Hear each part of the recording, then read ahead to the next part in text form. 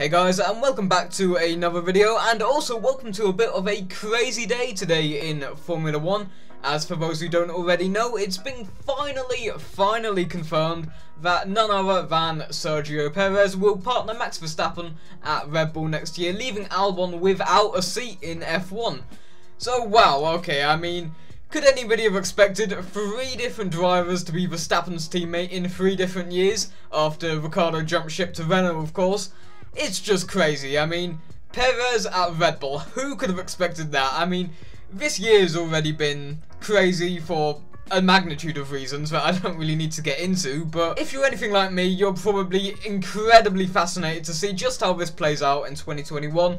I mean, Perez, as we all know, he has heaps of talent, 10 podiums to his name, and of course that one win in Sakhir a couple weeks ago now.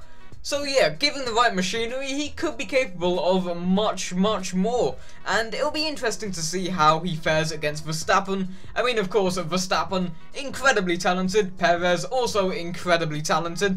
So I think it'll be a lot more even than, say, Gasly and Verstappen, and now Albon and Verstappen. I think the level of talent between the two is a lot more, a lot closer together. And this brings up the question as to whether, if he's still really far off, like how Gasly was, like how Albon has been over this last year, what is wrong with that second Red Bull seat then? I mean, if even Perez is still, still far off from Verstappen, I'd, Red Bull are going to have to do some work behind the scenes to try and fix that second Red Bull seat because it is crazy. It seems like a cursed seat, just how just how far off that second driver is, how they can never get anywhere close to Verstappen, uh, let alone in kind of overtaking distance of it. I mean, it's not as bad as, like, say, Mercedes. Bottas may not be as high up as Hamilton, but even still, you do see Bottas sometimes getting close to Hamilton. Whereas that second driver at Red Bull just never can get anywhere close to Verstappen. So Finally, I hope that Perez is finally the answer to the question as to whether or not this second seat is, well, cursed, quote unquote. But yeah, It'll be interesting to see 2021, the battle between the two. I think it probably will be pretty fierce. I think that Perez will definitely be challenging for podiums and maybe even wins. I would like to see Perez as another race winner. Uh, of course, he won in Sakhir uh, earlier this year, but next year, I want to see if he can win multiple times. I think he probably will be quite consistent um, in the terms of just being on the podium, being at least up there, being in the top six. But Sergio Perez has been in F1 since what 2011, so needless to say, he's one of the uh, one of the veterans of the group when you think about it. I mean, it's just him then. I guess Hamilton, Vettel and Raikkonen and Alonso next year, who've been in F1 longer than he has. So yeah, it's quite weird to think that he's been in F1 for so long. And yeah, of course, that is when in Sakhir a couple weeks ago was the biggest gap, I think, ever between the start of a career and their, a driver's first win. So yeah, needless to say, it's quite a coming of age for him to finally be in a top team. Of course, he was in McLaren in 2013, but that didn't really work out. He got a handful of podiums, a couple second places as well, but never could really get to that top step. So yeah, I really hope 2021 is the answer to all his problems. I would love to see him on the top step just a couple times more, and who knows how long he'll be. I wonder if this will just be a short-term replacement, or he'll be in it long-term and be in Red Bull for quite a couple years to come. But needless to say, this is quite some exciting news. I mean, wow, what a... I just said it before, but what a crazy, crazy turn of events this whole year has been.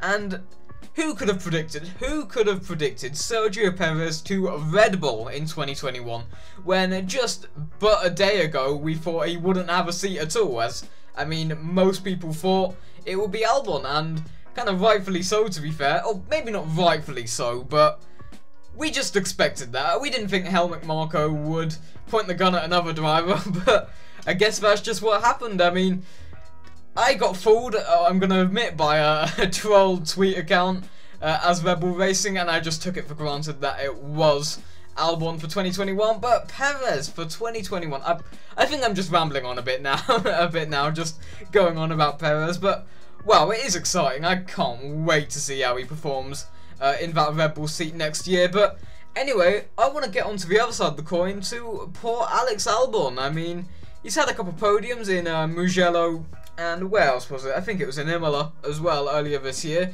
Oh no, sorry, it was in uh, Bahrain when Perez actually had his engine retirement and when he was uh, on form for a podium. So that was that's quite a how the turntables moment right there. But yeah, there we go. So uh, Albon without a seat in 2021. That's quite interesting, and of course he can't go to AlphaTauri with Yuki Tsunoda from Formula 2 coming into AlphaTauri for 2021 partnering Pierre Gasly, the first driver born in the 2000s to race in Formula 1, which is also quite interesting. At age 20, I think he is. But yeah, poor Albon, man. I mean, I don't know what he's going to do in 2021. Maybe he'll do some other motorsport.